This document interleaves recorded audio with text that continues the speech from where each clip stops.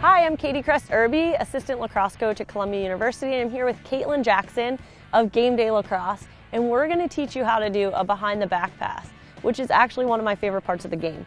So, a, a behind the back pass is pretty fancy, but it's also pretty um, practical and effective if you're in the right position.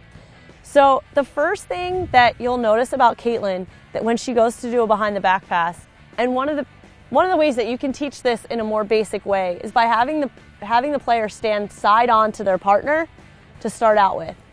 Caitlyn's gonna drop her hands down in front of her, and then she's literally gonna drive her hands back, straight back, and up. So her hands would kind of be in this position. And at the same time that she drives her hands up and back, she's gonna rotate her shoulders around and release the ball. Okay? So again, my hands drop down.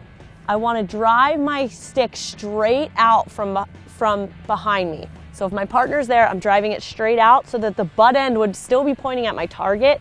And then I'm gonna rotate my shoulders a little bit. I'm gonna pull with this hand and I'm gonna push down with my bottom hand actually.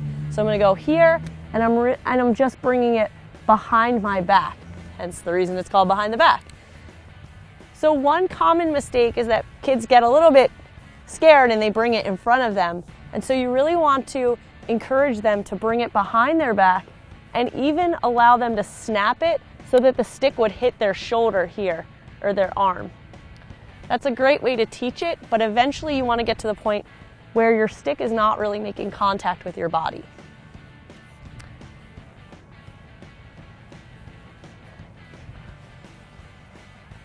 So as you advance in this, you can turn your body straight on. So it really teaches your players how to use their torso in their game and how to use their torso in this particular pass.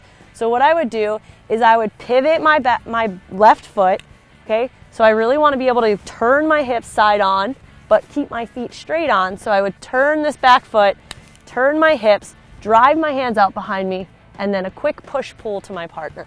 So I want to be able to stand straight on to Caitlyn turn my hips and shoulders and really make this motion very quickly.